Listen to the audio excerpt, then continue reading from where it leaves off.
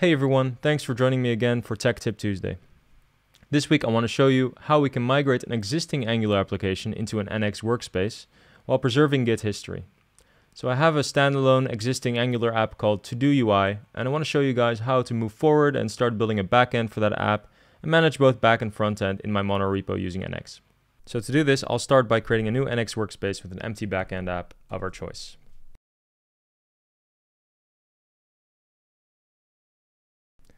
I'm going to name it to do monorepo. And I'm going to start out with a nested application.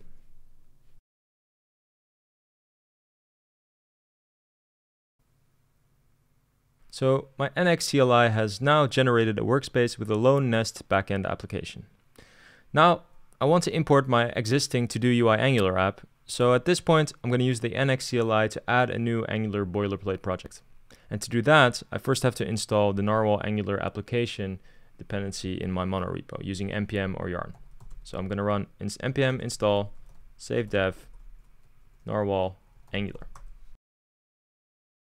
And after that, I'm going to use NX to generate my boilerplate Angular application, into which I'm going to migrate my existing app, making sure that I'm matching my styling and routing configurations.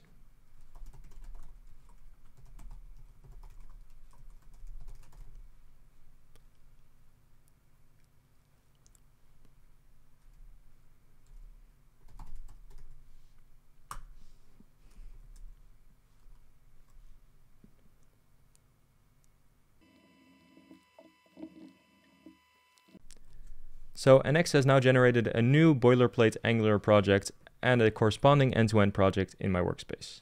So before I start my merge, I'll commit my changes.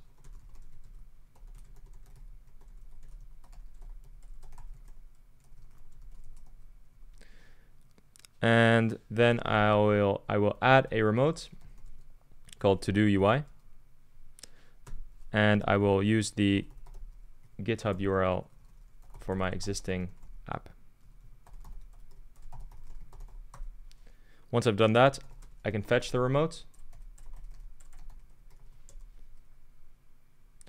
And after that, I'm going to merge the master branch from that new remote while using the allow unrelated histories flag. So as you can see, at this point, I have some merge conflicts that I have to resolve. So for the purpose of brevity, I'll skip over that here, but when migrating, you should take some time to review your configuration and package.json files so that they're set up correctly. And since these will vary depending on how your existing project set up, it might take some time. In my case, for example, I'm going to have to take that angular.json from my existing project and move all my build configuration into the workspace.json.